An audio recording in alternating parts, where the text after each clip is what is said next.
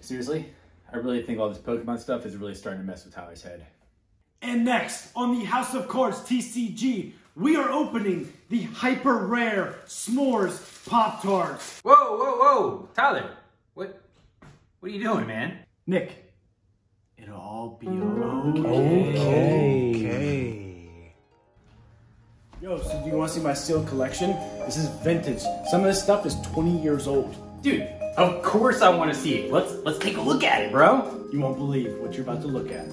Some of it I've opened, I got a little restless, but this is it. Huge sealed collection. Bro, that's that's like literally just groceries. What? Uh, yo, did I did I show this to you yet? Yo, sick card, dude. Uh, centering looks a little bit off, left to right. Some whitening around the edges. Otherwise, though, good looking card. Dude, was that that top loader? Did you have that in your pocket? What are you doing, man? Yo, snap out of it.